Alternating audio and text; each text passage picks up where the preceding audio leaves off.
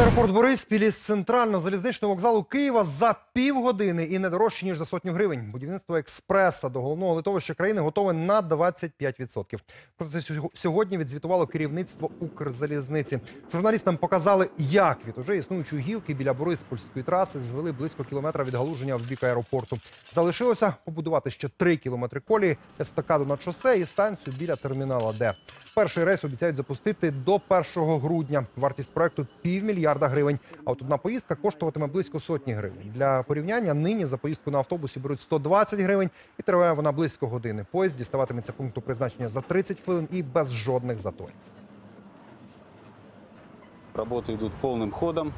На сегодняшний день у нас остается немногим менее 200 дней до запуска э, экспресса. Я с уверенностью могу сказать, что этот план и эта задача будет выполнена.